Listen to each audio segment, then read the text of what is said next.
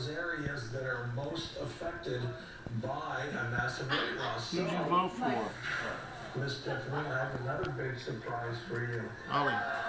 Oh, you would like me to take you on as my own patient. Always. Hey, With a colleague, a Who did you board vote certified for? plastic surgeon, Dr. Greg Ratliff of the Plastic Are you a Surgery Center of Tulsa. And he's agreed to see you You for a consultation. If he confirms you're a good candidate for the skin removal procedure, he's going to do it for you absolutely free.